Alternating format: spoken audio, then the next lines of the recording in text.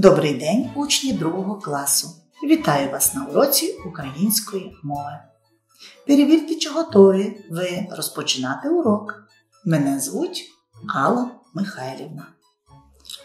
Сьогодні на уроці ми дізнаємось, що таке текст, будемо говорити про типи текстів, а також визначимо текст розповідь. Пригадаймо, що таке текст. Текст це зв'язані за змістом речення. Речення у тексті розміщені у певній послідовності. У тексті можна визначити тему і мету тексту. До тексту можна дібрати заголовок. Текст будується з трьох частин: зачин, основна частина, кінцівка. Кожна частина пишеться з абзацом. Тексти бувають трьох типів: текст розповідь, текст опис, текст міркування. Зверніть увагу, у сови трапилась біда.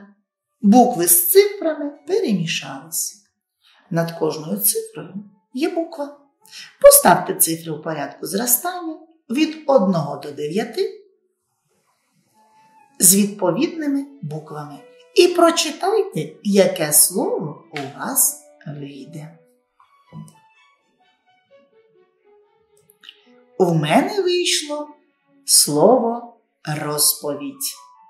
Тема сьогоднішнього уроку текст розповідь.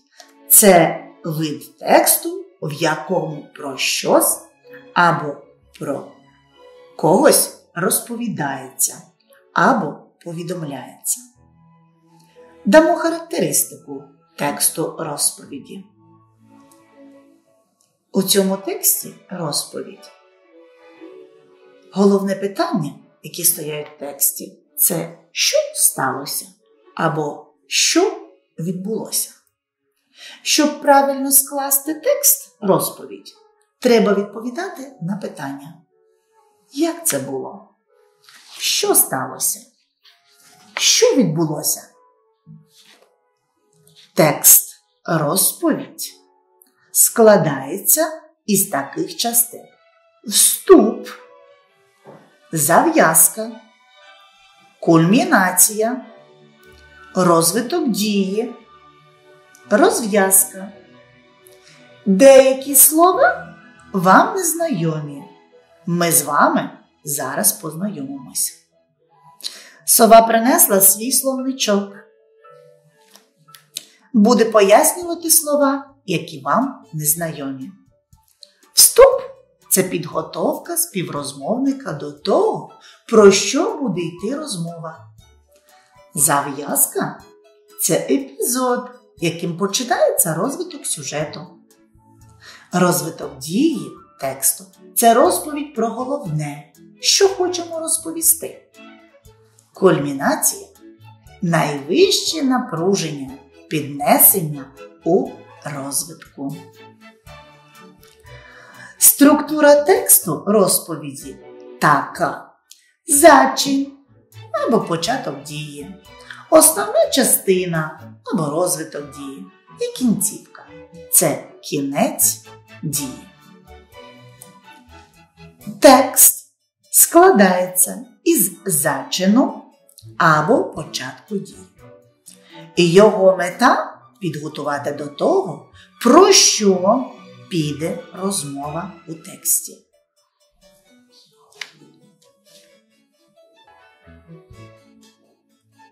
Основна частина це розвиток дії. Мета розв'язати, про що піде розмова. І кінцівка це кінець дії. Мета узагальнити розповідь. Добре.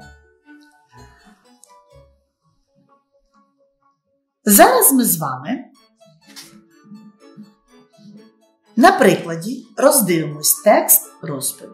Він називається Щедрий дятел. Підлетів до молодого клена дятел. Продовбав кору і ласує кленовим соком. Бач, який. знає, що кленовий сік не гірший від березевого. Де не візьмись два горобці, вовтузяться біля клена, по черзі п'ють сік, задоволено цвірінькають, дякують дятлові, що пригостив. Тепер розберемо поданий текст. Знайдемо зачин або початок дії. Підлетів до молодого клена дятел. Далі йде основна частина. Продовбав кору і ласує кленовим соком, бач який, знає, що кленовий сік не гірший від березового. І кінцівка поданого тексту.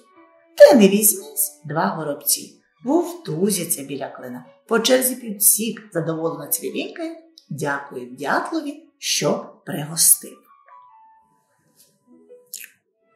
І так, будь ласка, подивіться уважно, на які питання відповідають виділені слова.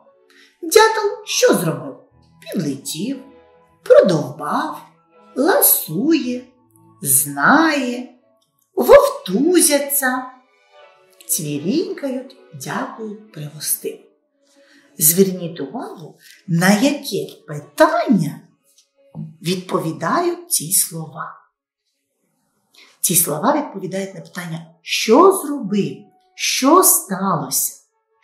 Тобто це текст розповідь, де автор розповідає про якісь події, явища або дії.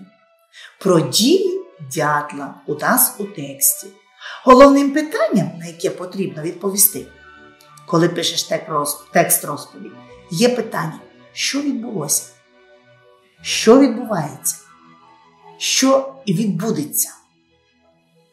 Розгорніть підручник на сторінці 51, вправа 21. Прочитайте речення і переставте абзаци так, щоб вийшов текст. Прочитаємо речення. Зайчик замість відповіді тільки зітхнув. Відповів їжак. Правда, але мої колючки рятують мене від зубів собаки і вовка. Чи служить і тобі так добре твоя сіренька шубка? Сіренький гладенький зайчик сказав їжачкові. Який у тебе некрасивий колючий одяг. Зустрілися якось зайчик і їжачок. Ви зрозуміли, що тут все переплутано, всі частини переплутані. Давайте з вами знайдемо зачин до тексту. З чого починається текст? Наверно, з того, що зустрілися якось зайчик і їжачок. Тож поставимо це першим реченням. Знайдемо основну частину тексту. Сіренький гладенький зайчик сказав їжачкові. Який у тебе некрасивий колючий одяг? Відповів їжак. Правда, але мої колючки рятують мене від зубів собаки і вовка. Чи служить тобі так добре твоя сіренька шкурка? Це основна частина. І кінцівка тексту. Зайчик замість відповіді тільки зітхнув. Це текст. Речення послідовно зв'язані за змістом. Ми можемо визначити тему тексту. У тексті говориться про зайчика та їжачка, як вони зустрілися.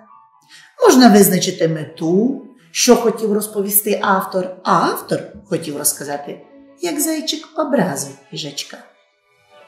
Можна дібрати заголовок до тексту. Зустріч зайчика з їжачком або образа зайчика. Також можна визначити частину тексту. Текст складається з трьох частин: зачин, головної частини і кінцівки. Текст, який ми прочитали, за типом розповідь. Текст розповідь це розгорнуте словесне повідомлення про когось або про щось. У нашому тексті про тварин. У тексті розповіді йдеться про події, пов'язані між собою, про дії героїв, про те, як зайчик образив їжачка. Зробимо висновок. Розповідь це тип тексту, в якому описуються дії у певній послідовності. Коротка характеристика тексту розповіді. У цьому тексті, у тексті розповіді, ми розповідаємо і головні питання, які стоять в тексті, що сталося, що відбулося. Пригадаємо з вами. Про що дізналися на уроці? На уроці ми ознайомилися з типами текстів. Текст розповідь є, текст опис, текст міркування. Ми з вами говорили за текст розповідь, текст, в якому повідомляється про щось чи про когось розповідається, складається з трьох частин зачину основної частини і кінцівки. Текст розповідь відповідає на питання, що сталося, що відбулося. Дякую, діти, за увагу. До побачення!